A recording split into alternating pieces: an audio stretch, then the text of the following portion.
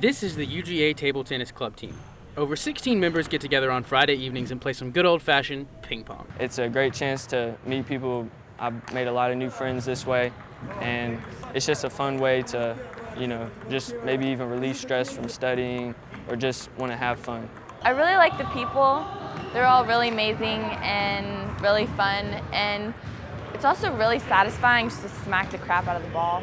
The club team did not exist until three years ago. Grad student Leon Chen is credited with starting the weekly practice sessions. You only just need um, two people and two paddles. You only need, need to get like, you know, 12 people in order to play soccer. So um, it's a low cost and uh, it's very easy to access. It's pretty much like all the sports, it requires training if you want to get real good. It requires uh, good cardio, uh, speed, uh, reflexes, and generally good athleticism in order to play the sport. Your body is re-energized. Um, I think it's a great way because it, it does not only exercise your body or your muscle, but also it exercises your brain. Veterans come here every Friday to prepare for tournaments, but the club has seen a rise in new participants taking up the sport.